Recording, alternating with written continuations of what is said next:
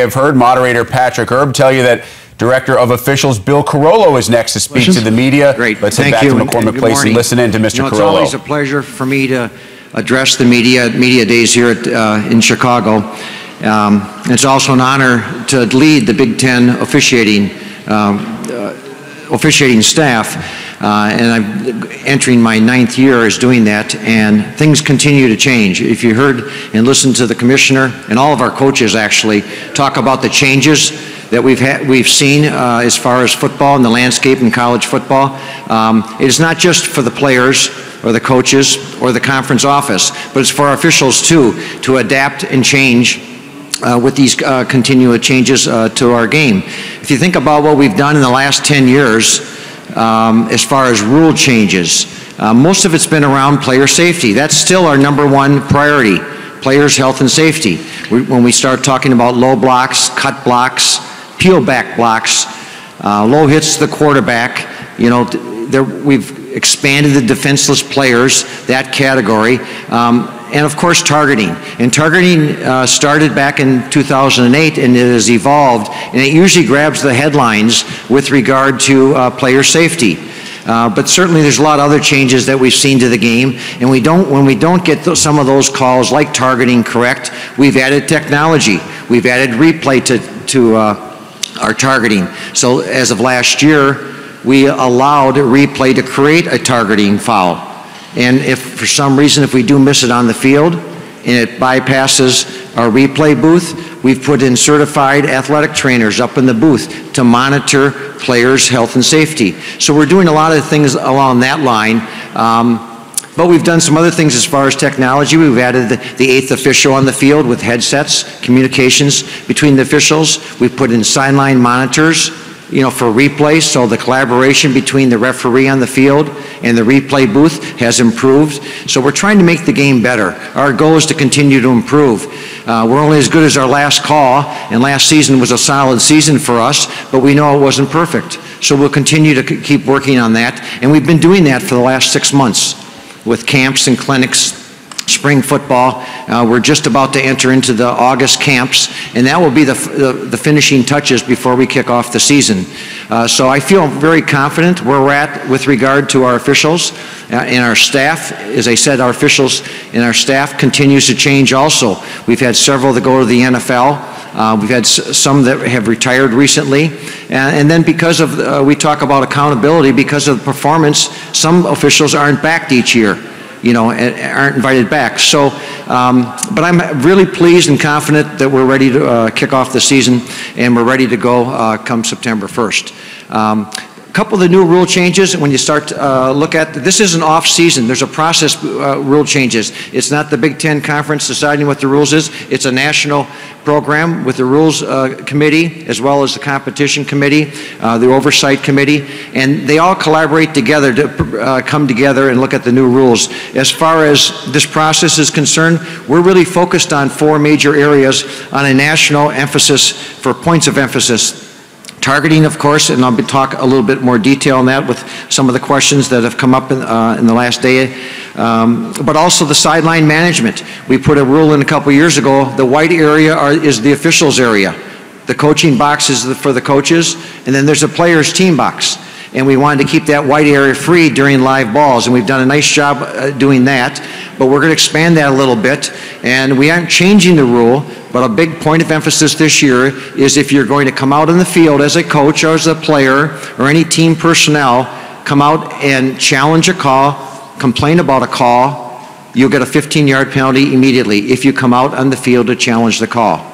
So you can certainly come out during timeouts, attend your players, injured players, etc. Do some coaching, but there's a separate rule from the, the, area of the white on the sideline control. So it's a new point of emphasis. Usually we were um, pretty lenient in this area, and we're going to tighten that up a little bit. We don't have a problem in the Big Ten as far as our coaches uh, in their demeanor, but across the country, it's a national point of emphasis. So that's a, a major area that we're going to take a look at. The other area is pace, pace of play. We're trying, we've gone in 2010 to, to, to uh, this current last season. Uh, we've gone from three hours and 10 minutes to three hours and 24 minutes for the average game in college football. Now, the Big Ten's a little less than that, three hours and 21 minutes, but across the country, you'll see more efficiency by the officials on the field, and halftime is only going to be the maximum 20 minutes. It'll be, halftime is going to be halftime, 20 minutes. We're going to start the clock after we clear the field, and then wind it immediately, and then we expect the players to go right at the 20 minute when it comes down to zero. So that will be a, another area as, far, as well as, you know, being uh, with substitution, substitutions, we're going to be a little bit more efficient getting the ball in play. We don't want to take a plays away from the teams, but we're the dead ball times, we're going to get the clock moving as quickly as possible. Um, unsportsmanlike conduct is also another area that always, along with player safety, is an area that we have a keen eye on throughout the seasons, uh, in the, at least in the past uh, five or six seasons. A uh, couple new rule changes. We've expanded um, um, the leaping and hurdling rule. We've tightened that up a little bit. You can't come from the second level, the linebacker position, on extra points and field goals. You can't take a running start, jump, leap, and try to block the kick. Okay, 15 yard penalty for leaping or hurdling. Uh, we've expanded that. Uh, before you, if you took off at the line of scrimmage, it was legal, but you couldn't land on somebody. And now this year, you just can't take a running start, whether you land on anybody or not, it's going to be a foul. And then we've also expanded um, the horse collar tackle. So we've, the rule previously had to do with getting the hand inside the collar inside the shoulder pads and have, having a jerking motion down and buckling the legs. Now we've expanded to the nameplate area. So it doesn't have to be on the inside of the collar, just above the numbers in the nameplate area. That would be a targeting call, excuse me, that would be a horse collar that uh, we will call this year. So we've expanded that. So with that, let me just uh, uh, pause and open up for some questions. And I know we had a couple questions the last few days on the targeting side and the targeting numbers are up. Um, as far as I think we've done a good job, but the numbers are up um, across the country as far as there's a trend going upward. And I think we've done a really nice job. The coaches have done an outstanding job. They, they deserve the credit. Uh, but we're calling more targeting calls. We're overturning more in replay. But the net is we're up a little bit. So we've taken away the big hits, uh, the real dangerous plays, but this still, with the numbers going up, we, we can't relax and think that we've got this problem solved uh, because we're very concerned about the targeting issues. So with that, we can open up for some questions. We can start on the left, uh, towards the back. Chad Leistikow Des Moines Register. Uh, Kirk Ferentz, who knows a thing or two about the offensive line, was has been openly critical of the low blocking uh, interpretation. He said four weeks, four different interpretations. And last month when I talked to him, he still didn't seem satisfied with how it's been dealt with. What can you say about um, how you've um, ascertained your officials, how to enforce that consistently throughout the season?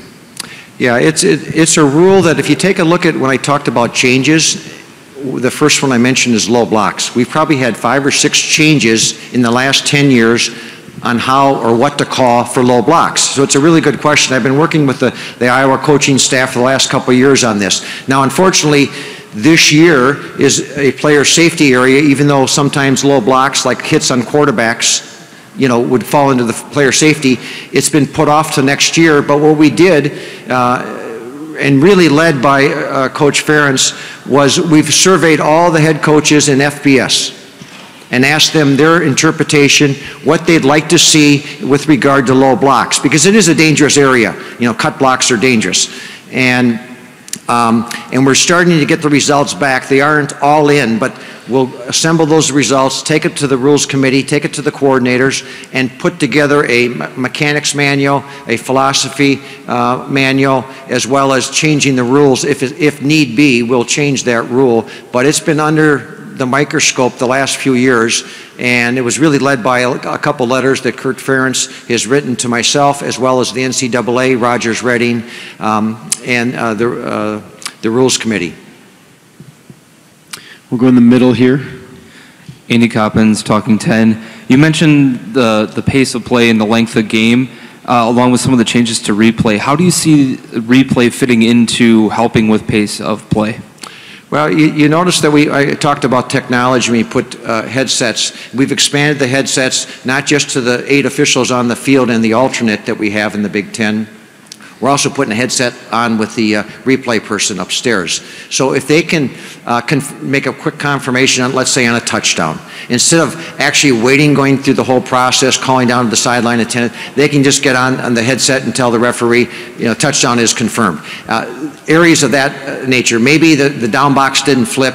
Maybe the clock didn't start. Um, so that type of um, administrative communication will be helpful. They aren't making the calls, but anything administratively, we do allow replay now to uh, communicate. And one thing I didn't mention is there are some conferences that are experimenting with collaboration with the, with the command center, you know, several miles away from the stadium. And, and that collaboration, similar to what we do, we are doing in the Big Ten with monitors on the sideline. But the headsets are a, big, a, a good vehicle for the officials, but also it's a tremendous vehicle for the coaches. The coach wants to get some information. What did he do on the pass interference? Was it a cutoff? Was it an armbar, et cetera?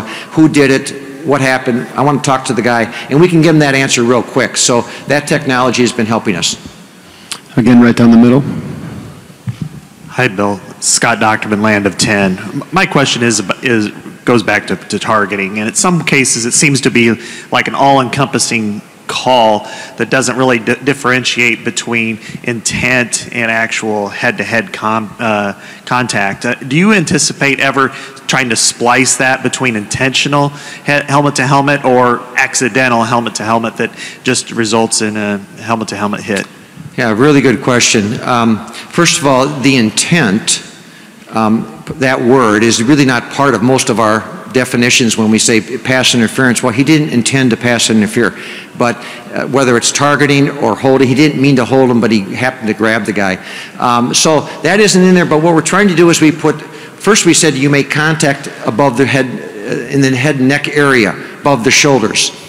Um, then we put in forcible contact so that, that kind of got closer to the intent. Yes, there was contact, the helmets kissed, right? They came together, but there wasn't forcible contact. So we're trying to expand um, re, uh, the, the, replay role as well as the targeting definitions for the officials, what to look for on the field. So we look for um, good indicators and bad indicators, high risk indicators. You know, if he comes in with his helmet down, leads with his crown, comes in with force, if he can't see his target, if he doesn't wrap up, he doesn't keep his head up. He doesn't move his head to the side. There are a lot of things that we're trying to do that we aren't saying he didn't mean to do it. It, it wasn't intentional, but we're looking for indicators and good and bad indicators that will help us get there. Now, because it happens so fast, it's a very difficult call for our officials. Uh, so we advocated let's get replay involved. And replay in slow motion, high definition, has a really good advantage point to take that really difficult play slow it down, and see what happened on that play. So we overturned, we called 22 in the Big Ten last year. Four of them were overturned that were, were not targeting. But I'm telling our officials, when it's close like that, and it has to do with players' health and safety, we want the flag thrown. I want a discussion, collaboration among the officials. And if you're still not sure, we'll send it up to the replay booth. That's the proper mechanics. We're going to err on the side of safety when it comes to this. So, um, so there's a lot of things that go into that, and if we do miss it, and even last year, three of them of the 22, it just stood, which means whatever we called, we're going to stay with that call. You know, so maybe you can net it down to about 15 calls. It's a very difficult call. We use technology to help us, and when we do miss it, we've got that certified athletic trainer upstairs. We've got replay looking at it, and they can create that foul. But it's um, you know, it's, it's a tough area. It's a, but I'm not making excuses. They pay us to make those calls, and we'll make them, and we're training on it. And we spend at least 50% of our time in training trying to understand that. Because if I miss a pass interference, you know, I'm not real happy. Um, if we miss a targeting call, I am really, really disappointed because we've got different areas of the game on the field, eight officials. That's why we went to eighth, the eighth official. Now we put it in the hands of replay. Now we put it in the hands of a, a spotter upstairs to help us. We do not ever want to miss a targeting call. Now we did have one call last year that we, we made the call, but it didn't rise to the, it had all the indicators, but it wasn't over and above either a block a tackle. and In this case, the player was making a play on the ball, and we made a mistake on that play. But I hate to miss it and, and make a mistake and let a, a hit like that go through and not flag it. Over here on the right. Hey, Bill. Gavin Go with Daily Illini. Um, Pat Fitzgerald said earlier that he wants um, repeat offenders and teams that have been getting targeting calls repeatedly to be looked at. Is that something you guys are considering? Yeah, we've had discussions on that. Uh, repeat offenders, I mean, obviously, if you do it one time, you're out, right, uh, from that standpoint. And there was a lot of discussion with the Rules Committee. If we can't confirm it, to the example I was talking about, we had three plays that, were, that stood. You know, there was a lot of talk, let's change the rule. Let's just make it a 15-yard penalty and let them stay in the game. That had a lot of momentum for a couple months in the off-season. But I think cooler heads prevailed on this because we wanted to keep it in the game the way it is today. And, um, and I think that um, repeat offenders, teams that, uh, that continue to target players, usually it's a phone call from me, you know, to the head coach, highlighting that situation uh, and giving them some reminders. And if he wanted us to bring some, some officials in to, to kind of talk through that. But we, we have a, a targeting film that we take to all the teams, you show it to them and, and explain, here's the difference, here's why this is a targeting, here's why this is not targeting. Um, but I think that the Rules Committee is looking at it, they're talking about it, uh, but certainly we don't have a big problem in the Big Ten with regard to the number of targeting calls compared to any other of the major five conferences or all FBS. You know, we're below the average, but it doesn't mean that, you know, one isn't too many, you know, when we have it. Are there any other further questions at this time?